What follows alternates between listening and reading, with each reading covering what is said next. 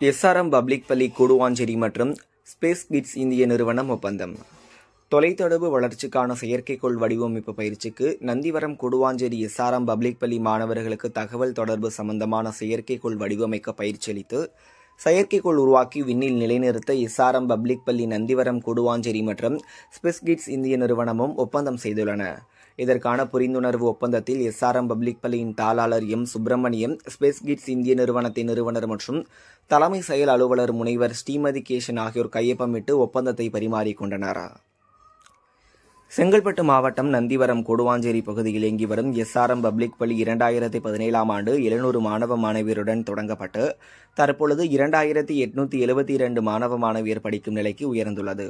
இப்பள்ளியில் கிரேடு ஒன்று வகுப்பு முதல் மாணவர்களுக்கு வழக்கமான பாடத்திட்டத்துடன் ஸ்டிம் எனப்படும் அறிவியல் தொழில்நுட்பம் பொறியியல் கலை மற்றும் கணிதம் சம்பந்தமான பாடங்களும் போதிக்க உள்ளதாக பள்ளியின் தாளாளர் எம் சுப்பிரமணியம் செய்தியாளர்களிடம் கூறியதாவது இப்பள்ளியில் பயிலும் மாணவர்கள் உலக அளவின் தேவைகளுக்காக தொழில்நுட்பங்கள் உருவாக்கும் திறன் வளர்ப்பு படைப்பு திறன் இருபத்தி ஒன்றாம் நூற்றாண்டிற்கான திறன்கள் அறிவியல் ஆராய்ச்சி மற்றும் வளர்ச்சி ரோபோட்டிக்ஸ் செயற்கை நுண்ணறிவு மெய் மற்றும் மெய்நிகருக்கான நிஜத்தினை பெரிதாக்குதல் த்ரீ டி முப்பரிமாண பிரிண்டிங் இயந்திரம் பற்றியும் இனிவரும் காலங்களில் பயிற்றுவிக்க உள்ளதாகவும் எஸ்ஆர்எம் பப்ளிக் பள்ளி மாணவர்கள் இஸ்ரோ எனப்படும் இந்திய விண்வெளி ஆராய்ச்சி நிறுவனத்தின் உதவியுடன் தொலைத்தொடர்பு வளர்ச்சிக்கான ஐந்து கிலோ எடை கொண்ட செயற்கைக்கோள் ஒன்றை வடிவமைத்து அதனை விண்ணில் செலுத்தி கிரக சுற்றுப்பாதையில் நிலைநிறுத்தும் வகையில் பணியில் ஈடுபட உள்ளனர். இந்த பணியில் ஈடுபடும் மாணவர்களுக்கு ஸ்பேஸ் கிட்ஸ் இந்திய நிறுவனம் பயிற்சி அளிக்க உள்ளது. இதற்காக எஸ்ஆர்எம் பப்ளிக் பள்ளியும் ஸ்பேஸ் கிட்ஸ் இந்திய நிறுவனமும் ஒப்பந்தம் செய்துள்ளன.